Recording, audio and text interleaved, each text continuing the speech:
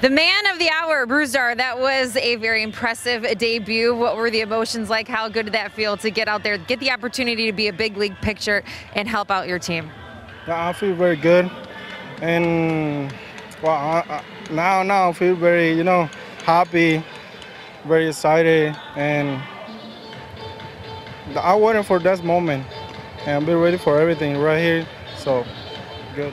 What were the motions like today as the game unfolded? You're in the bullpen wondering if it's going to be today, if it's going to be tomorrow, and then when you get the call that it's your chance, how are those emotions?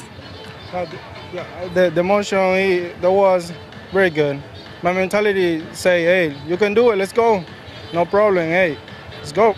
Yeah. That first pitch, a 100 mile an hour strike. How good did it feel to just set the tone so early right there at that first pitch? Yeah, I feel very good. And that's my mentality in the bullpen. Hey, throw hard and strike, and that's it. Win. This is just the beginning for you. What do you want Twins fans to know about who you are as a player, as a person, and what you plan on doing for this team? Que tú quieres tu momento grande para ti, que te están dando esta oportunidad, que tú quieres que los fanáticos de Minnesota sepan de ti y que tú puedes dar en el terreno para ellos. Um,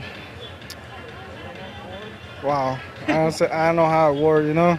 So I'm I say thank you, fam, for coming here. Thank you for your support guy here all the time, every day, and I'm be happy for for me, for everything, for everybody here.